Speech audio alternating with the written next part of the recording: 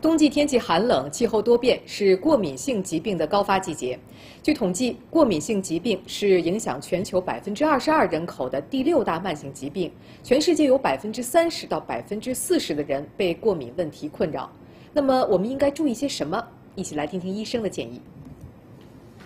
过敏，通俗讲就是由过敏原引起的异常免疫反应，是一种全身性疾病，可以发生在人体的不同脏器、不同部位。过敏性疾病包括过敏性鼻炎、哮喘、湿疹、结膜炎、食物过敏、药物过敏和严重过敏反应等。鼻塞、眼睛发痒、流鼻涕、咳嗽等是过敏性疾病的常见症状，或者引起刺激性的咳嗽啊，就是他没有明显的痰，但是老是觉得嗓子痒，咳嗽停不下来，这个可能是引起了一个下呼吸道的并发症。过敏性疾病的诱因较多，最常见的包括尘螨、真菌、树木花粉、杂草类花粉、病毒感染等。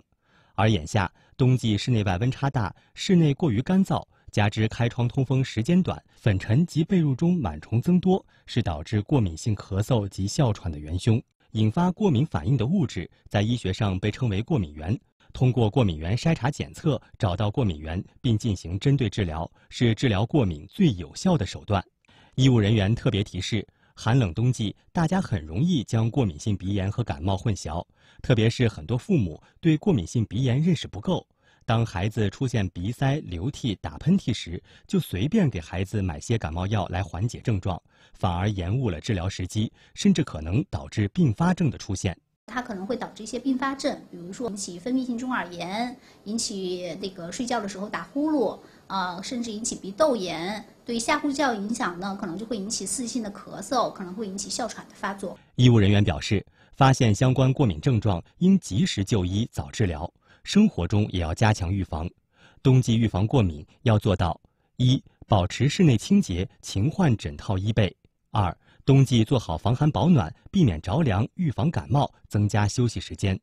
三、经常开窗通风，保持空气清新，不接触吸烟者，拒绝二手烟。不要在室内养殖容易引起过敏的植物。四、易感体质患儿在服药时应仔细阅读说明书，避免因药物不良反应所引起的哮喘。五、坚持力所能及的体育运动，适当运动可增强体质，提高免疫力。